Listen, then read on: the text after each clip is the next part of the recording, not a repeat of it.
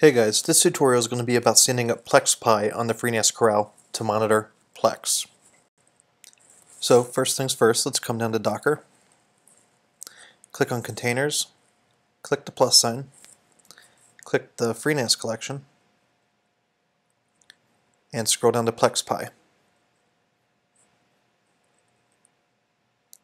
Click on PlexPy, name our container,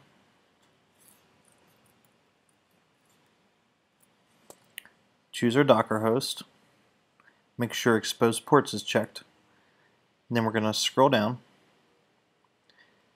and we're going to choose a place to save our configs and logs on our host.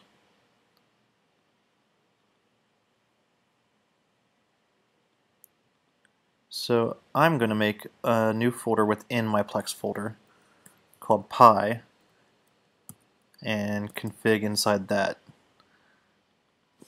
And I'm just going to copy that and paste down here and change config to logs. I'm going to set my time zone.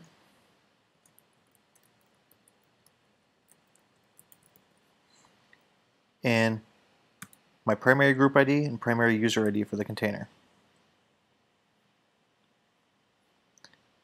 Change networking to bridge mode generate a MAC address, and choose an IP address in our range that's not already taken.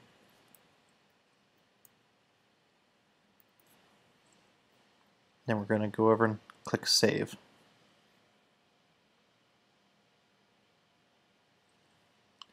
So if we go over and click on PlexPy, click the Web UI button, it actually takes a second, so let me give it another second here.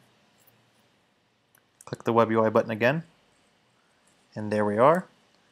If we just go ahead and click Next, give your Plex username and password, and that's pretty much all there is to standing this up on FreeNAS Corral.